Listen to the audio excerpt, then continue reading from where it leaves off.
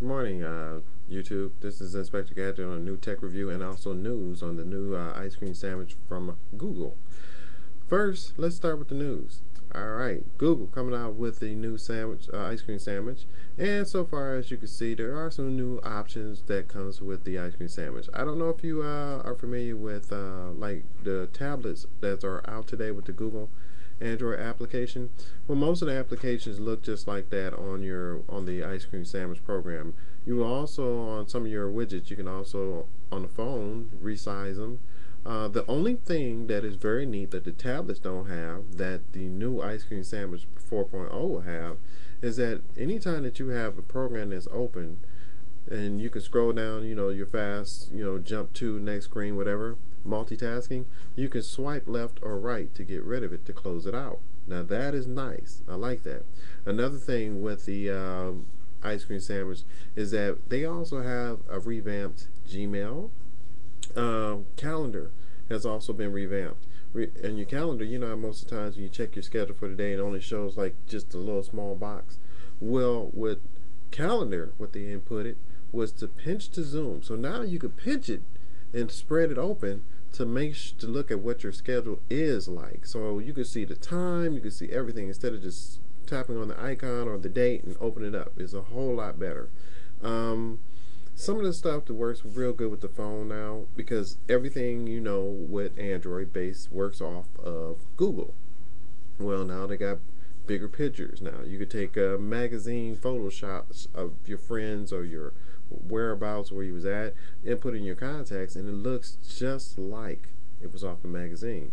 Um, with the Nexus, I know they have revamped some of the cameras uh, functions on the Nexus. I don't know about if the ice cream sandwich program is going to have that on the other phones. Um, as you know, I got a Thunderbolt.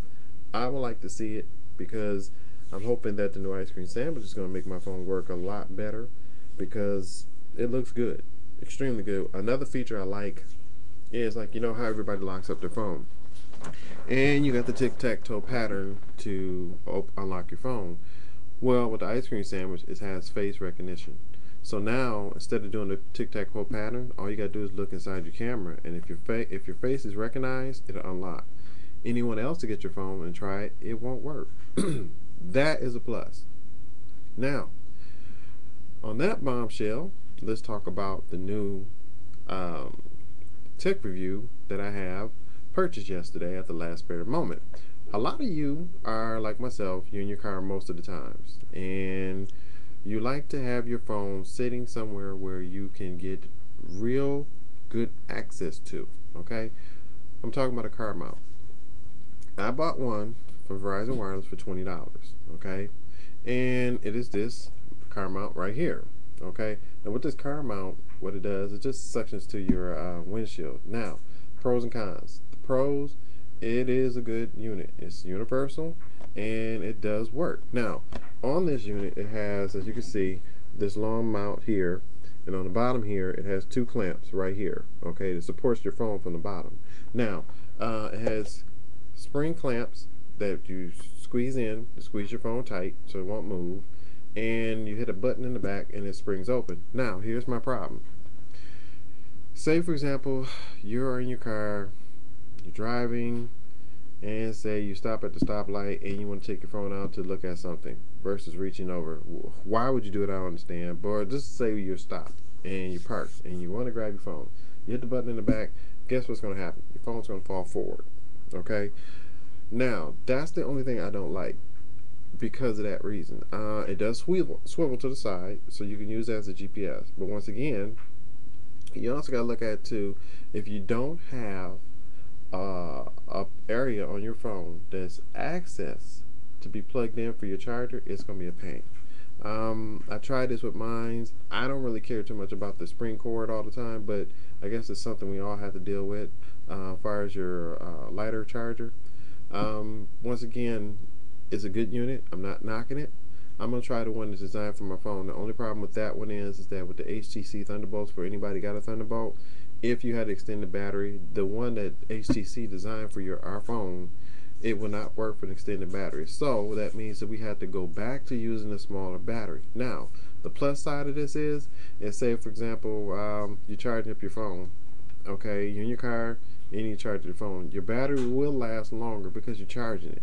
So you don't have to worry about using extended battery. Now, if you're not going to be in your car, then yeah, I would use extended battery for the rest of the day. Um, so I'm going to end up taking this one back.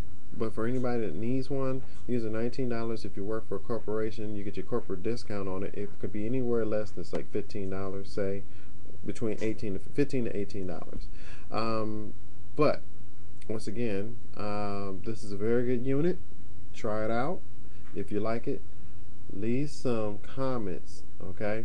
Also, leave me some comments about the uh, Google information and stuff because, like I say, I'm starting to see a lot now where Apple Google, Windows, they're all trying to do their thing like, hey, mine's is better than yours. Some similarities, there's like like they're copying off of one of each other, but they're doing it better. Okay? So, once again, this is uh, Inspector Gadget with a tech review today. Uh, you have a good one. Stay warm. Peace.